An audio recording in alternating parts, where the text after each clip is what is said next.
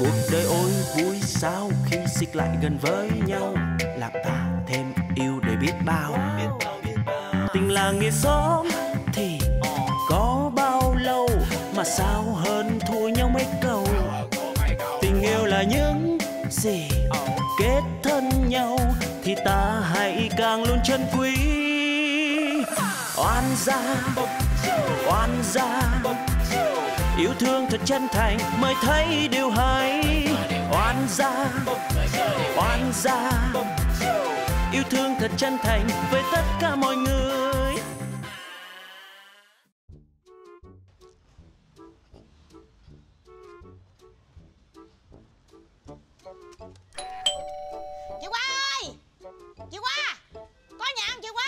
Rồi ra tới liền tới liền. Rồi rồi ra tới liền tới liền tới liền tới liền. Ai vậy? ai vậy? Ủa trời chị. Có chuyện gì không chị? Tại nói à, hồi nãy á, tôi ghé bưu điện. Dạ. tôi gửi cho à, bà già tôi dưới quê mấy chai dầu tốt. Trời cái ơi khẳng tôi gặp ông bảy. Dạ. cái ông bảy ổng mới nói bị nhờ tôi đem cái thơ này tới cho chị. Mà tôi thấy hình như cái thơ này là của trường học tiếng anh của ông thảo nguyên phải không? Em cảm ơn chị nhiều nha. Trời ơi tôi nói thiệt nha.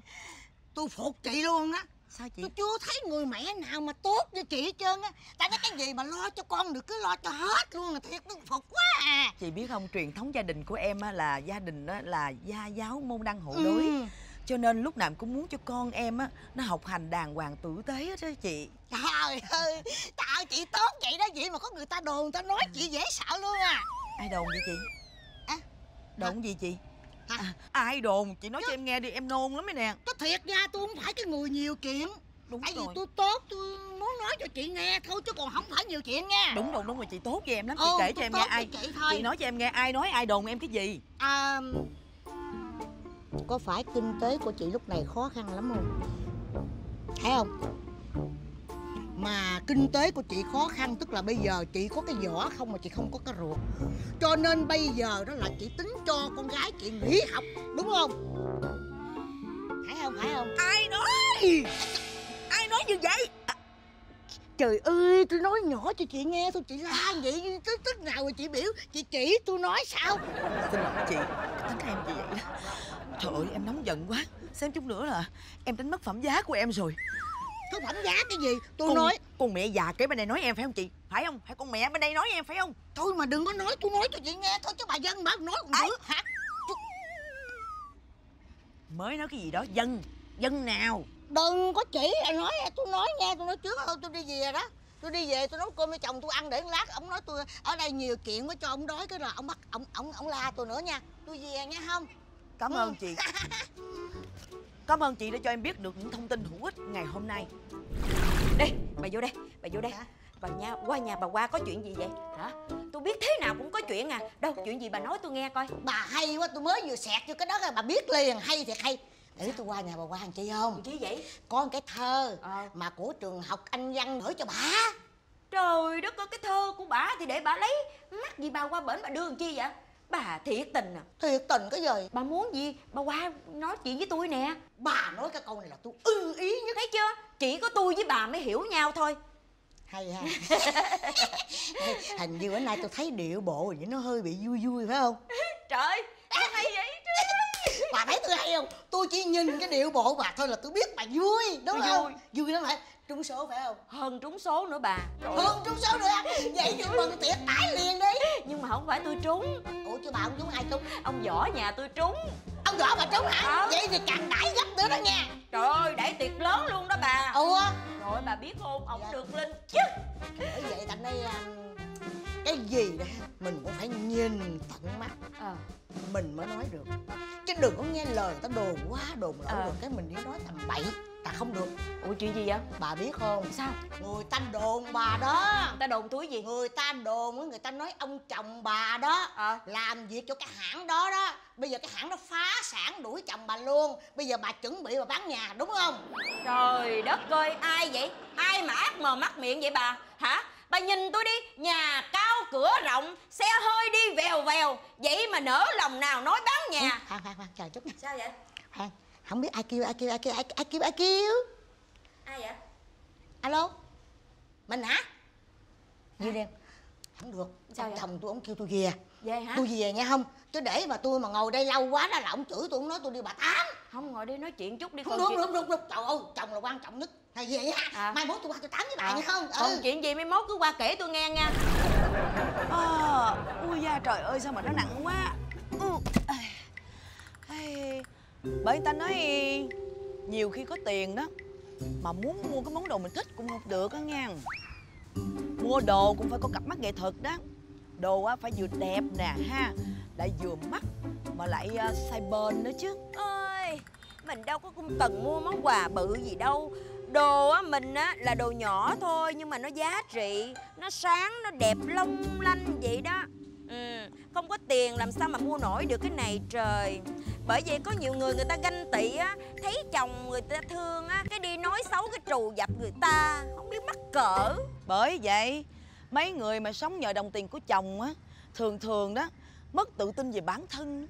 Cho nên hay thường á là đi nói xấu người ta nè ha rồi ganh ăn tức ở tung tin đồn nhảm trù rủa người ta Sao? Bà nói sao?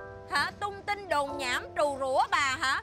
Bà mới là đi đồn người ta tung tin đồn nhảm cho người khác á Bà vừa vừa phải phải thấy người ta không nói thôi làm tới Bà không tung tin hả? Bà không nói gia đình tôi phá sản rồi chồng tôi bị đuổi việc hả? Chính cái miệng bà nói cho ai mà nói cái gì tôi rảnh quá à tôi rảnh tôi đi tung tin đồn nhảm nhà bà tôi biết chồng bà làm cái gì mà tôi tung tin tôi xin lỗi nha bà mới là người tung tin nhà tôi khánh kiệt ha bà nói là nhà tôi bây giờ nghèo rồi hết tiền cho con tôi đi học rồi nhưng mà tôi nhịn bà biết không Tôi nói thiệt với bà nha Tôi sẽ đưa đơn kiện bà vì tội bà làm xúc phạm vinh dự của người khác tôi kiện bà Đồ đó cái thứ mặt dày bà mới dày đó Bà dày á bà dày đó Dày á Bà coi Xích Bà- lại đây ai dày hơn ai nè bây giờ cào đi Để thử cào nè móng tay ai nhọn nè ai dày nè cào nè tôi cào vô đó tôi cào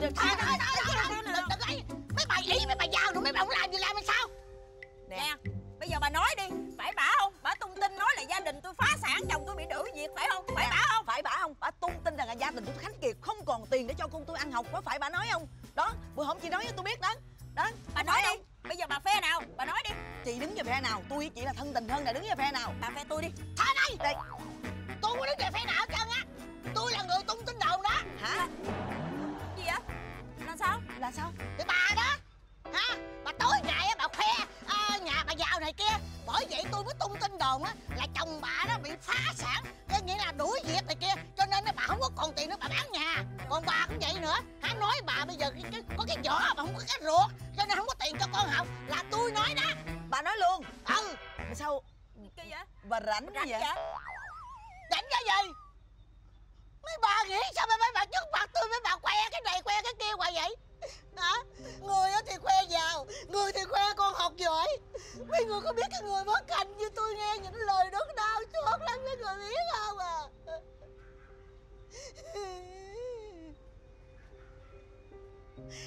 Đứng lại.